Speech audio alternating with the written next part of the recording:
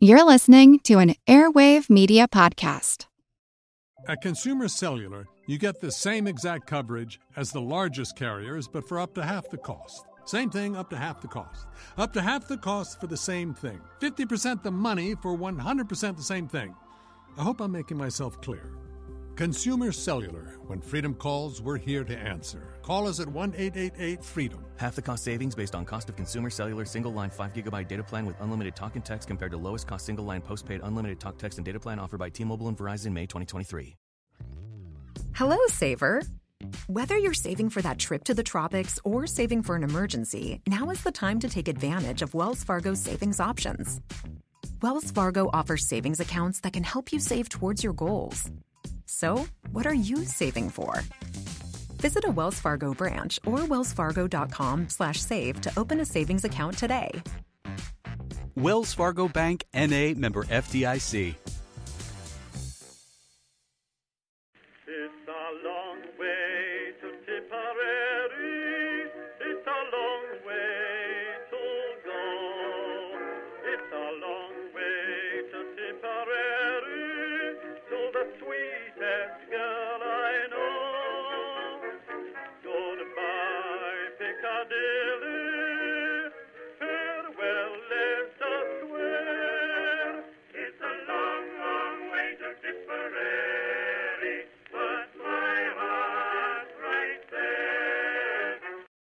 Everyone, and welcome to History of the Great War episode 183. This is our second episode on the Paris Peace Conference. Last time we discussed the American and French delegations to Paris and outlined some of their main desires for the discussions at the conference. This episode, we will start off by looking at the British delegation and its leader, David Lloyd George. Then we will take our first crack at discussing the overall organization of the Supreme Council, which would initially be made up of British, American, French, Japanese, and Italian leaders. They would be the ones that would make many of the big decisions that would find their way into the Treaty of Versailles. And so we need to discuss how the council was organized, how the members of the council got along, how they determined the topics to discuss, and then how they made their decisions. This is very important information because many of our episodes will revolve around the actions and decisions of the Supreme Council. They would quite literally have the fate of the world in their hands. In the last part of this episode, we will take a deep dive into one specific topic around the conference self determination. The concept of self determination would play a huge role in Wilson's views of the post war world, and almost more importantly, it had become an important aspect of what many groups of people around Europe thought Wilson wanted to assert at the conference. There was just one problem. Self determination was not actually mentioned in the 14 points, where Wilson sort of outlined a post war world. And more importantly, Wilson had not really taken the time to firmly define what he meant by the concept when he did discuss it. You may be thinking that defining self determination is easy. Pop open Google, bam, you can find it. But the textbook definition of self determination and how self determination was actually defined and implemented at the conference are two different things. Why that was the case and how it would drive many of the decisions made by the Supreme Council will be two questions that this episode will seek to answer. We start today with the British, and just as it is impossible to discuss the French without discussing Clemenceau or the Americans and Wilson, it is equally impossible to discuss the British without first discussing David Lloyd George. Lloyd George had been the Prime Minister since December 1916, and he would lead British, the British delegation in 1918. He would have the luxury of a good base of support, at least initially, after the elections in late 1918 had went quite well for his coalition. In his personal views, Lloyd George seems to have been much more moderate than some of the other leaders at the conference. These views were present earlier in the war, and they remained present when the war was over, but he was a seasoned politician, and he knew how to play the game. With so many other leaders taking more extreme views, Lloyd George was willing to compromise on just about anything. Lloyd George's politicking would begin almost as soon as the war was over, and one example of this would be where he stood when compared with the French and Americans. The British and Lloyd George had worked very closely with the French throughout the war, but when it came time for peace, the British would closely align themselves with Wilson and the Americans rather than Clemenceau and the French, although there were a few important pieces of American policy that the British were entirely against. One view that Lloyd George would share with Wilson was the idea that the conference was at risk of causing animosity in Germany that would continue into the future and the views that the French and their push for a proper punishment of Germany was only going to make it worse. He would write during the conference that, quote, beyond question, it was a disaster that we had laid Germany prostrate before we could reach a peace settlement. Had Ludendorff retreated earlier to strong lines within the German frontier and there held out against us, a peace settlement might have been reached that contained fewer roots of bitterness that one than one dictated to a foe who, even in defeat, clung with his claws to the foreign lands he had invaded and devastated, and in the process of liberating his hold, increased the desolation. Unhappily for the peace of the world, the hostile armies were still on the soil of France and Belgium when the end came, and the surrender had to be complete enough to guarantee the aims for which we fought. So, in that quote, uh, Lloyd George is sort of bringing up the idea that the post war settlement would have actually been better if Germany was actually stronger. Whereas uh, a lot of modern day commentators will compare World War One, of course, to World War Two, where the Germans were very much weaker after the settlement as the path forward for what would have been a better peace settlement. Lloyd George here, sort of contemporarily with the events, is taking the opposite view. I feel like now is a good time to bring up, not for the first or last time, the hypocrisy with which the British would push their view of moderation around the treatment of Germany. While they were pushing for moderation in one area, often involving a loud criticism of the French, their greed in non European matters was almost insatiable. In the Middle East, Africa, and the Far East, they would push for the greatest possible gains, no matter what. When it came time to determine exactly who would represent the British Empire at the conference, there was almost immediate complications. One of the complicating factors was how the British Commonwealth in India would be represented in Paris. Should they have their own voting representatives, or would they just fall under the British umbrella? Initially, Lloyd George and others in London did not want them to have their own representatives, but the push, both from around the world and from others in the British government, was just too strong, and eventually Lloyd George was forced to allow these representatives from around the world.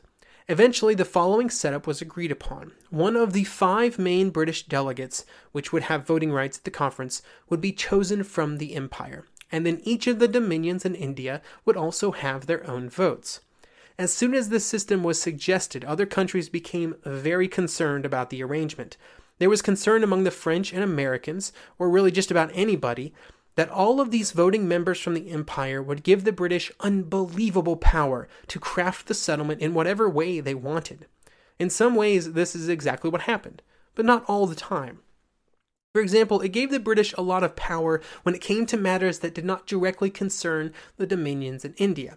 So, for decisions about the Balkans or Eastern Europe, you know, Australia and New Zealand is probably just going to follow London's lead.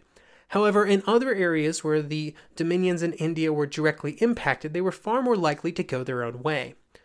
With all of these members around, uh, from around the globe and those from the home isles, the British delegation in Paris would include well over 400 individuals, once officials, advisors, clerks, and other supporting personnel were accounted for.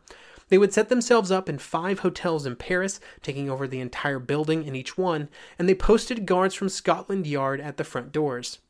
The British would take security very seriously during the conference. They would operate their own postal service to make sure nobody was snooping on their mail, and all British delegate members were required to wear passes with their photographs on them at all times. Much like in France and the United States, the situation on the home front in Britain would also influence the course of the discussions in Paris. In his work, Great Britain the Home Front, Erik Goldstein breaks up the feelings in Britain into three distinct phases. The first was in the last two months of 1918, when the government was preparing for the 1918 general election. This election was called because Lloyd George believed that he would win and win big, and with that win, he would cement his legitimacy as the leader of the British negotiations. During this time, British official policy pretty much just pandered to the public and what they wanted to hear. The second phase would be from the end of the elections until about mid April 1919. And during this time, Lloyd George was concerned that the direction of the treaty was going to be at odds with what people back home and members of his own government expected. The third phase would be the final months of the conference, where Lloyd George felt more secure in his power and more optimistic about the conference moving towards a more moderate final settlement. Throughout this entire process, there would always be a disconnect between what the people back home wanted and the reality that the British delegation was dealing with. Overall, the population of Britain generally had unrealistic expectations for the peace, both in terms of how quickly and easily it would be arrived at, but also how beneficial it would be for British society. An example of where Lloyd George would see this as a problem would be around reparations. He would take a very moderate stance on reparations, taking something of a middle ground between the French and Americans. He knew that the British public would hang a lot of emphasis on the reparations, if only because it was sort of the easiest part of the settlement to understand. It would be a number. It's pretty, but it's also pretty easy to misinterpret a number. Lloyd George would argue that no matter what the number was that was finally in the treaty for reparations, no matter how large, it would still result in, quote, many people in England as well as in France, they will exclaim, it is too small. The problem with reparations and the expectations for them was echoed by others within the government, with Lord Blake saying, quote, it is also true that no Prime Minister could have survived a day if he had submitted to the House of Commons as a final figure for reparations even the highest sum that was actually within Germany's power to pay. Because of the impossibility of satisfying both the British public and the Allies, while also trying to craft a, a real peace settlement, Lloyd George would try to find the middle ground. This is by no means the only example of societal expectations interacting and in many ways harming the abilities of those in Paris to create a lasting and impactful peace. This was just one of the problems that the British delegation would deal with during their time at the conference. The Irish Civil War would be brewing, there would be industrial strikes across the country, there were serious concerns about a socialist uprising. All of these post war issues in Britain would affect the British goals and actions in Paris. We now move on to our discussion of the Supreme Council. One of the important topics to discuss for the conference is the relationship between the leaders of all of the countries involved. They had generally been united during the war, but afterwards, huge differences of opinion would develop. And throughout the conference, there would be many disagreements between the Allied leaders, but there were a few items that could be agreed upon pretty easily before the conference began. The first was that the best course of action, suggested by Clemenceau to the British and Americans, was for the Allies to come together, figure out their peace terms, and then present it to the Germans. This is actually the origins of the Paris Peace Conference, just a meeting between allies to hash out the terms that would be given to their enemies.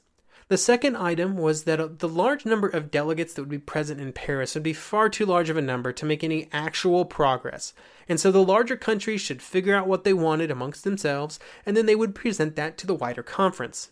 This was the origin of the Supreme Council, which we'll dig into very shortly. When these concepts were discussed and agreed upon by Wilson, Lloyd George, and Clemenceau, there was a general opinion that these discussions would take at most a few weeks, and then they would invite the Germans, and the treaty would be signed, and they'd be done, you know, pretty quickly.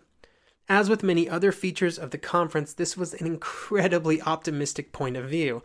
And in fact, it would take months for the Allies to come to an agreement, and that is just counting from the official start of the conference. Weeks before the conference began, the leaders of the delegations began de facto negotiations when they began to play some political games. Clemenceau would begin to build up relations with Wilson, expressing his strong support for the League of Nations. Lloyd George would do the same, beginning a concerted effort to charm Wilson and to make sure that Wilson believed that Lloyd George and all the British were strongly on his side wherever he was going. Lloyd George would arrive in Paris on January 11th, and on January 12th, 1919, he would meet with the other members of what would come to be called the Supreme Council Clemenceau, Wilson, the Japanese, and Italian Prime Minister Vittorio Orlando. This would be the primary driver of all of the decisions made at the conference. They would make decisions that would quite literally decide the fate of nations and affect millions of people all over the world. Rarely in the history of the world, at least to my knowledge, have such a small group of individuals held more power than these five members of the Supreme Council. They would meet at least once a day, sometimes twice, sometimes three times, but pretty rarely, and really any time that the council members or their representatives were in Paris. These meetings would always occur without a set agenda, and they would deal with issues as they presented themselves. During the first week of meetings, many important administrative decisions were made. Conversations within the council will be held mostly in English, since Clemenceau spoke it well, and Italian Foreign Minister Sonnino uh, spoke it well enough to translate. It was also decided that the official languages of the conference should be English and French. This seems like a small decision, but it was discussed at length, since the French wanted the conference to only be recorded and conducted in French, but they would eventually be voted down in favor of bilingual conferences. After these kinds of decisions were made, the real routine developed for the council. This mostly revolved around providing an audience for representatives of all the various nations at the conference. During these audiences, the delegates would discuss what their countries wanted and why, desires that often conflicted with desires of other nations in the region. Then the council would discuss the situation, sometimes creating committees to dig deeper and provide a recommendation, and then they would move on to the next topic. From one day to the next, these audiences and discussions could vary wildly. They might discuss Czechoslovakia one day, then China the next, then South America the next. In March, there was a change to the council, and the Japanese were removed, and most of the foreign ministers were no longer allowed to be in the room. The reason for this change was that they had to get the discussions down to even fewer people, and they just wanted the four leaders Lloyd George, Clemenceau, Wilson, and Orlando, with maybe some secretaries present just to write things down. This streamlined both the discussions and the decision making process, just by sheer process of elimination of people and viewpoints. They had to do this because they weren't getting anything done. So that's the general setup for the Supreme Council, and their discussions and actions will be the primary drivers for our narratives in these episodes. I do want to give you my opinions on their actions right up front, just so you sort of know where I'm coming from in these future episodes. So, first of all, uh, obviously, the Supreme Council would make some serious mistakes. Huge, lasting, incredibly impactful mistakes. However, I believe that one of their largest mistakes was actually not any of those, not, none of those later decisions, but instead right at the beginning. And that was the mistake of not realizing that what they wanted to do and the task that they were setting upon themselves was simply impossible. They were tasking themselves with remaking the Western world and seriously changing the entire world. And either through hubris or naivety, they actually believed that they could do this, and what would come out the other side would be better. This would be their greatest and foundational mistake. All the others just spooled off of the belief that they could fix the world. But here's the biggest spoiler I can give for the next 15 episodes they couldn't fix the world and what would become readily apparent is that they could barely understand what was broken in the first place.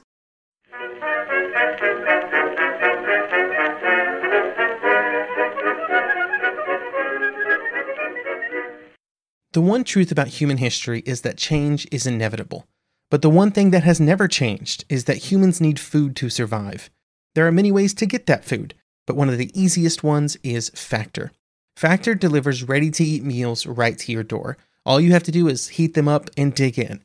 In two minutes, you can be eating tasty keto or vegan options or any of their 35 options that they have available every week. So you can choose maybe the cheesy garden herb chicken, maybe the Santa Fe green chili beef skillet, or perhaps the Caribbean spiced tofu. It is all delicious, and if you have a bit of a sweet tooth, Factor still has you covered with a wide range of snack and smoothie options chocolate mocha cheesecake, snickerdoodle macaroons. Any of that sound good? And don't worry, even the tasty stuff is dietitian approved. Head over to factormeals.com slash GW50 and use code GW50 to get 50% off. That's code GW50 at factormeals.com slash GW50 to get 50% off. Get cash for clothes at Plato's Closet in North Charleston and West Ashley. It's so easy. Recycle, earn cash, repeat. We pay cash on the spot for your trendy, gently used clothing, shoes, and accessories. At Plato's Closet, we buy all seasons, all day, every day. It's time to clean out your closet and cash in. Bring in your denim, graphic tees, athletic wear, shoes, handbags, and more. Sell your styles to Plato's Closet for cash. Then do it again. Plato's Closet, located in West Ashley on Sam Rittenberg Boulevard and North Charleston on Rivers Avenue.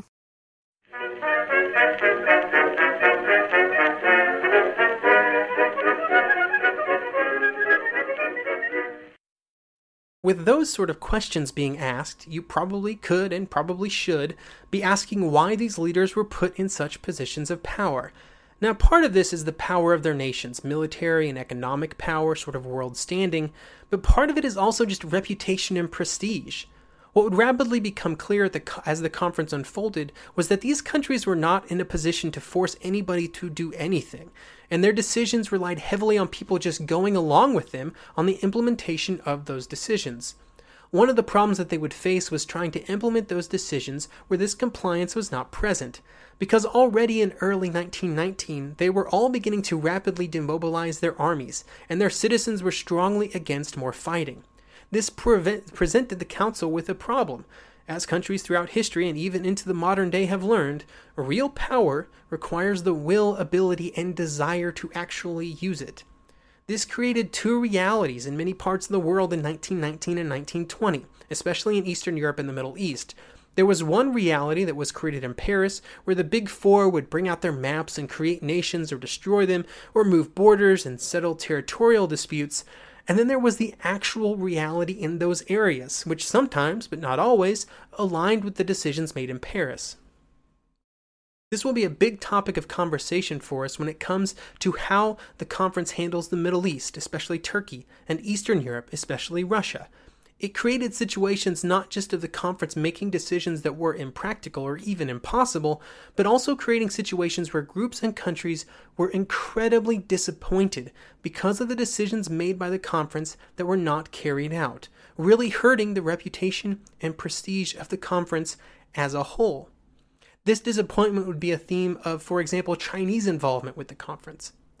While the will and ability to project power to implement their decisions was a problem for the Council, there was also a huge problem when it came to finding out the actual situation in some of the far flung areas around the world that they were being called upon to make decisions about.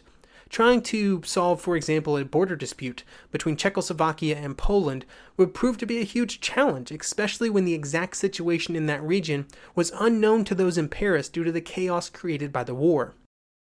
There was also just a general lack of knowledge among those making decisions and those that they trusted to advise them. Oftentimes, they might just look at some old maps and then hear some delegations from Poland and Czechoslovakia, which rarely brought the same story, and then decide what to do. The one thing that the council could do, and which they would often do, was send out commissions to study the region and then report back on their findings. The efficacy of these commissions varied wildly. They were often just as ignorant of the actual situation as the leaders, and even if they made an effort to physically go to the area, that often did not provide a better understanding. Also, I just want to point this out.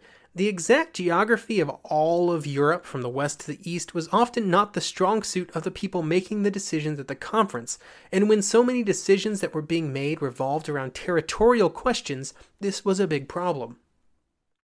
In his work A World Remade, G.J. Meyer points out one example of this phenomenon.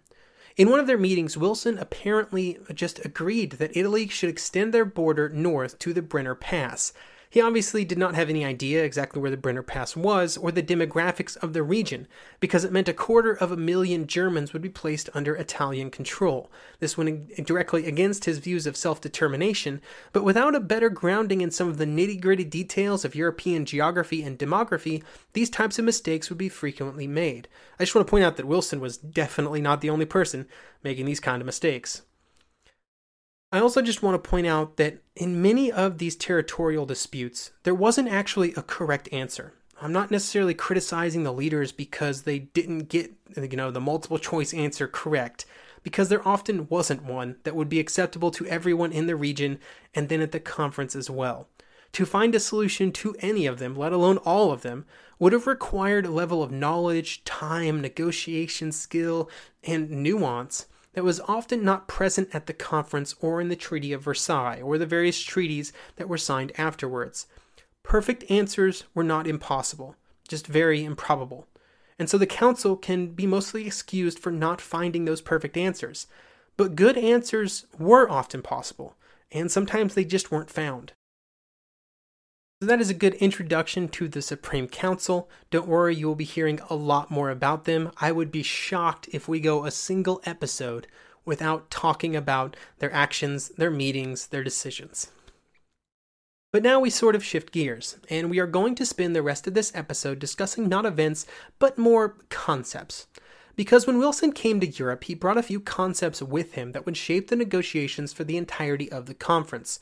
Some, one of these was open diplomacy, or open covenants openly arrived at, which was pretty self explanatory. Basically, no secret treaties should be allowed, and of course, the laundry list of secret treaties that the Allies had signed during the war, well, hopefully they were in the past. This was a pretty easy concept to understand, but the second two are more challenging. The first was the idea that the nations of the world should redefine how they created peace at the end of conflicts.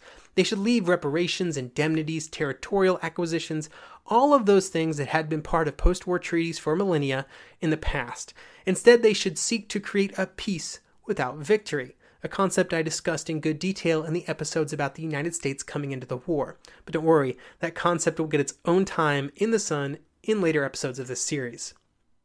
Instead, I want to talk about another of Wilson's big concepts, and that's the idea of national determination or self determination. The term self determination does not actually appear in the 14 points, but its but its concept does, and many groups of people all over the world would attach themselves to the idea and really push for its implementation. Many of these groups would point to what Wilson says about Poland in the 13th point as their example. So here's the 13th point of the 14 points in total. Quote, an independent Polish state should be erected, which should include the territories inhabited by indisputably Polish populations, which should be assured a free and secure access to the sea, and whose political and economic independence and territorial integrity should be guaranteed by international covenant. End quote. Uh, just as a note, I'll be using Poland as my example while we discuss this idea, but the concept could and would be applied to many groups of people all over the world by simply substituting out Polish for any other ethnicity or nationality. So originally, Wilson liked to discuss this concept about self government, of governments created by the people, for the people, and letting people choose their own government. These ideas sound sort of stereotypically American. In February 1918, he did clarify a little bit more about what he thought should be done specifically around these ideas, saying that they should be satisfied by but only satisfied without quote introducing new or perpetrating old elements of discord and antagonism that would be likely in time to break the peace of Europe and consequently of the world end quote. This idea is pretty easy in abstract. Oh, yeah, we want people to be able to freely form their own governments that represent them and form their own nations as well. That sounds great. A world safe for democracy and, and all that. But when it becomes time to actually implement these concepts, you have to really start defining things. What precisely is a well defined national aspiration? What are the qualities that make it well defined? And who decides if a national aspiration meets those requirements. There's also other problems, even if you get past that issue. From the text of the 13th point, which I just read, it talks about indisputably Polish population. So is that like a percentage of the people being Polish, a simple majority, or is it more like a state of mind? These would be the questions that many people would be asking during the conference, and it would not just be the Europeans. The leaders of the American mission that was sent to Vienna to try and figure out what was happening in Eastern Europe would have some of these same concerns, and they would repeatedly send messages to Paris asking for clarifications. Robert Lansing, the U.S. Secretary of State, would be running many of these same things as well. He would write, quote, When the president talks about self-determination, what unit has he in mind? Does he mean a race, a territorial area, or a community? It will raise hopes which can never be satisfied. It will, I fear, cost thousands of lives. In the end, it is bound to be discredited, to be called the dream of an idealist who failed to realize the danger until it was too late to check those who attempt to put the principle into force. I don't think I can more clearly state the problems with trying to implement this self determination than Lansing does in that quote. This may not have been a huge problem at the conference if it was clear that it only applied to certain groups. But others wanted to be included in it as well, and many of those groups would attach themselves to the idea and then be disappointed when it wasn't given to them. And in many cases, the British and French really wish those groups would not do that. There were many peoples that the powers of Europe really wanted to keep away from ideas like self determination, or phrases like autonomous development, or the right of those who submit to authority to have a voice in their own governments, which were phrases that Wilson would also sometimes use to describe this idea. When these concepts started to be discussed at the conference, red flags started going up in the largest institutions that denied groups of people all over the world a proper voice in their own government. It's a small thing you may have heard of colonialism, and the biggest red flags would be in London and Paris. These concerns caused many conversations about who precisely these concepts should be applied to, and what precisely a well defined nationality was. Could it be applied to the Polish people? Uh, absolutely. But could a nationality be subdivided? So, could the Polish Catholics and the Polish Protestants be lumped under the same umbrella, or should they be asked if they wanted to separate? What about an extremely well developed nationalist cause in Ireland? Well, British would really hope you would not discuss that. Closer to Paris, what about the people in Alsace Lorraine, who had for two generations been a part of Germany? What if they did not want to be a part of France? What about the Slovaks, whose territory and sovereignty had been surrendered to the desires of the Czechs? Or the various Slavic peoples who would soon be a part of Yugoslavia, controlled almost entirely by the Serbians? I phrase all of these as questions because they would all be asked over the course of the conference. The answer that would be arrived at was to institute a sort of controlled blindness. The leaders at Versailles picked those ethnicities and nationalities that they wanted to, and they were given control. So the New Poland would contain many non Polish people on the periphery, including the Danzig corridor, which was almost entirely German. These types of actions were often taken for legitimate reasons, in the case of Danzig, providing Poland with access to the sea, but that does not mean that they were well received by those whose fate was being decided without allowing them any input. These types of decisions were not limited to the Danzig corridor or on the topic of Poland. It was not enough to decide that certain groups needed countries of their own and then to create rough outlines of where those countries would be. Actual borders had to be determined, or the conference was just dooming those countries to war with their neighbors.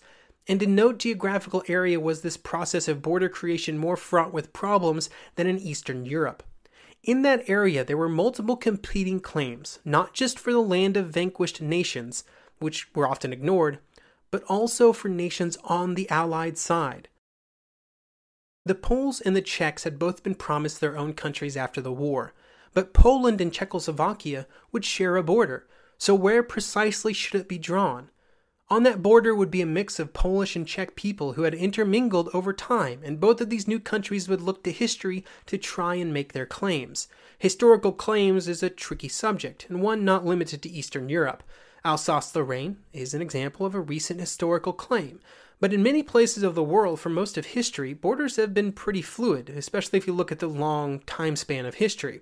So, when discussing historical borders, they first had to determine which historical border, and for some nations, those claims would date back hundreds of years. The presence of Germans in and around these territories would be a complicating factor, and there would be arguments from both sides around how many of them should be included in these new countries. Some Americans of the Czechoslovak Commission would say, quote, if all the territories inhabited by the Germans of Bohemia were separated from Czechoslovakia, this separation would cause a great danger for the Czechoslovak state, as well as serious difficulties for the Germans themselves. The only possible solution is therefore to attach them to Czechoslovakia. When making many of these decisions, there was also a strong mix of racism running around the conference. Here's Lloyd George in what would later be called the Fontainebleau Memorandum. Quote, I cannot conceive a greater cause of future war than that of the German people, who have certainly proved themselves one of the most vigorous and powerful races in the world. That they should be surrounded by a small number of small states, many of them consisting of people who have never previously set up a stable government for themselves, but each of them containing large masses of Germans, clamoring for reunion with their native land. The proposal of the Polish Commission that we should place 2.1 million Germans under the control of a people which has never proved its capacity for stable self government throughout history must, in my judgment, lead sooner or later to a new war in the east of Europe. Lloyd George is basically saying that the Poles, as a people, are too weak to control having German citizens. Those Germans will just be too vigorous and powerful for them. I also like how Lloyd George takes a little dig at the Poles here by saying that they've never proved their capacity for stable self government, which just sort of brushes the actions of external powers who are actively trying to subvert that self government under the rug and forgets about them. Of course, the prophetic nature of the Fontainebleau Memorandum cannot be ignored, given the actions of Germany in the late 30s around Czechoslovakia and Poland and Austria. But that doesn't mean that it's not full of problematic sentiments. To close out this episode, I want to remind everyone that while I have used Poland as an example throughout the latter half of this episode, these concepts and similar actions and basically the same problems would be present for many of the countries at the conference. When we vis- visit each region of Europe, we will revisit this conversation almost every time as the conference and the Supreme Council tries to grapple with competing claims for territory and who deserves to be a nation. I wanted to get an overview of this topic out of the way up front and to introduce all of these questions and concerns because next episode we will spend most of our time talking about the construct that Wilson believed could resolve any of these problems or any problems created by the Treaty of Versailles, the League of Nations. This international organization was his big answer to the world's big problems, and he considered it his most important contribution to the Paris Peace Conference. I hope you will join me next episode as we talk about this idea.